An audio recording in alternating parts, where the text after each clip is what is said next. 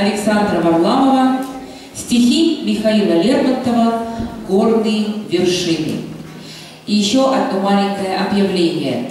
У нас всегда Ирина Борисовна э, пела во всех ансамблях, когда кто-то заболевал. И вот сегодня тоже одна артистка заболела, и Ирине Борисовне приходится ее заменять. Итак, ансамбль «Консонетта».